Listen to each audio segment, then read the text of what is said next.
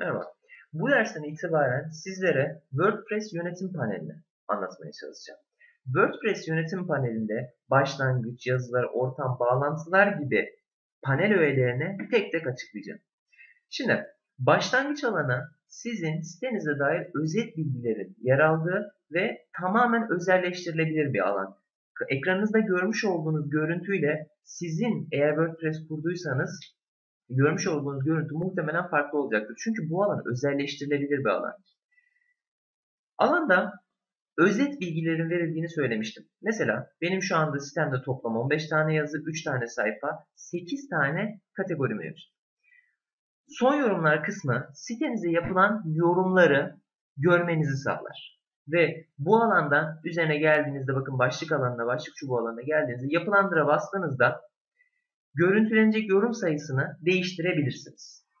Bu alanın özelleştirilebilir olduğunu söylemiştim size. Peki nasıl özelleştireceksiniz? Bakın sağ üst köşede ekran tercihleri seçeneği var. Ekran tercihleri seçeneğine bastığınızda örneğin eklentiler, WordPress blog, WordPress e, haberleri, hoş geldiniz ekranını ekleyerek ve buradan yazılarınızın sütun sayısını arttırıp azaltarak örneğin 3 sütun yaptığımızda burayı 3 sütunlu bir alan oluyor. Ekleme çıkarmaları rahat bir şekilde yapabilirsiniz. Hatta bu alanın güzelliklerinden birini söyleyelim. Sizler istediğiniz zaman başlık çubuğuna gelip farenizin sol tuşuna basıp tutup sanki Windows'da dosya taşır gibi sağa sola çekebilirsiniz. Ben yine eski haline getirmek istiyorum çünkü sadelik bu alanda iyi oluyor. Sütun sayısını 2'ye düşürüyorum ve istemediğim alanları karşımdan çıkartıyorum.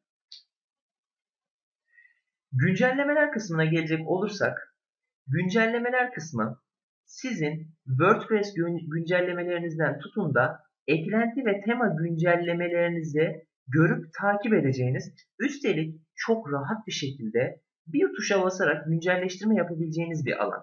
O yüzden WordPress'in bu alanını mutlaka kullanmanız gerekiyor. Rahat bir şekilde yani gözünüz korkmasın rahat bir şekilde güncelleştirme yapmanız e, olan. Şunu ayrıca belirteyim. Sessiz olun. Özellikle bakın WordPress'in yeni güncellemeleri çıktığında güvenlik sebebiyle mutlaka çok vakit geçirmeden WordPress'inizi güncellemeye çalışın. Örneğin bende 3.4.1 e, en son versiyon mevcut. Bu güncelleştirmeyi gizleye basarsam ortadan kalkacaktır. Şimdi yeniden yükleye basarsam WordPress'in 3.4.1 sürümü tekrardan yüklenecektir. Bakın burada İngilizce WordPress'e geçmek isterseniz de yeniden yüklü seçeneğine, yeniden yükle seçeneğine basabilirsiniz. Eklentilerde de durum keza aynı. Eklentiler kısmına geldiğinizde alanda güncelleştirmeler oluyor. Güncelleştir seçeneğine basıyorsunuz. E, alanına bas, bu alana bastığınızda eski dosya siliniyor ve yeni dosya ekleniyor. Siz sadece butona bastığınızda güncelleme yaptığınızda kalıyorsunuz. Herhangi bir ekstra bir seçenek olmuyor. Ayarlarınızın da genellikle bozulmuyor. Aynı durum temalar için de geçerli. Aksimet istatistiklerini şu an için anlatmayacağım çünkü ekstradan bir eklenti, çok mühim bir eklenti. Onun için ayrı bir alanda belirtme yapacağım size.